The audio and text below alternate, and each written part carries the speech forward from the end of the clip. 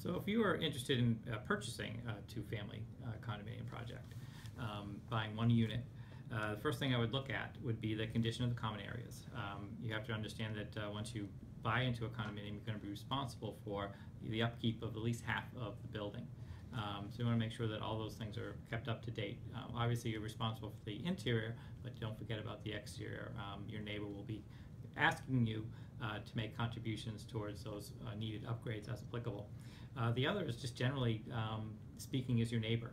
If you're used to renting an apartment, you don't get along with your neighbor, it's significantly easier to move out of that house or apartment and find another place to live as opposed to having to sell your house because you can't seem to get along with your neighbor. So I do try when I have a represent a client that is buying into a small condominium project to uh, talk to the neighbor to make sure that, that just get a general idea that they're going to be a good fit and they'll be able to live cooperatively together.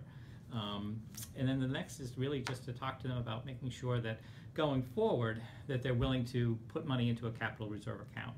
Uh, and that's for any kind of future common area needs and fixes, which uh, most small condominium projects uh, don't do.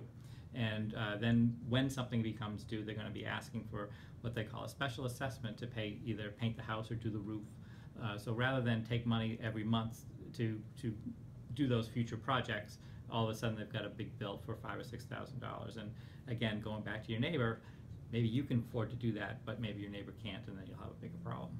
You know, one question, Michael, if you have a, if your neighbor is somehow in, you're in a two, two unit condo, say a house is converted to two units, the neighbor's having financial troubles, is not making the common area payments, and obviously things like homeowners insurance would require you to upkeep your roof and things like that, Mhm. property taxes need to be paid.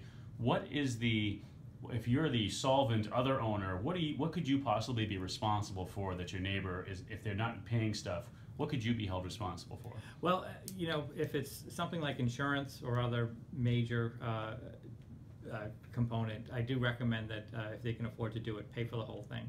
Um, upon moving out of the house or selling the house for the neighbor, or in most, a lot of cases for simply refinancing, the uh, neighbor's going to ask you as a fellow homeowner and a part of the condominium association for something called a 6D certificate.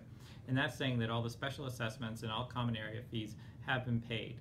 Now, if he hasn't paid his share of the insurance, when he comes and approaches you saying, I'm selling the house and I need a 6D certificate, it's then your uh, option, it's called a, um, you know, a super lien to say, no, you owe me this money first and then you can sell your home. Right, but do, would you, in the meantime, there anybody make, the things that you have to pay for, even if the, other if you're, if your co, I don't know what you call the other person, you know, your other, your co-condo, uh, Mm. associate there couldn't pay for, what do you, what do you, what could you have to pay for while they're, whatever Usually, they're going through? You know, it's usually just, just the insurance. Mm. Um, you know, the, the, they'll separate the tax bill. Um, and uh, then most likely maybe water. Uh, most of the small town, uh, small two-family projects have well, only one water meter. Mm. Um, so you're, you're asking for contributions from both unit owners to pay the one bill. Uh, if they're not paying any kind of bills, then you're stuck with the water uh, bill as well. It's not too too terrible in the short run, um, but it, it can start adding up if it goes on for a longer period of time. Yeah, well, thanks, Michael, I appreciate it. Thank you.